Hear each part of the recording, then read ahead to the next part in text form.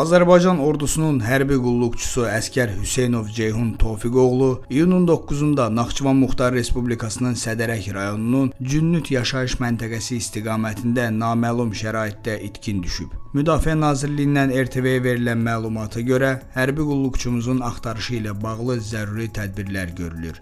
Əlavə məlumat veriləcək.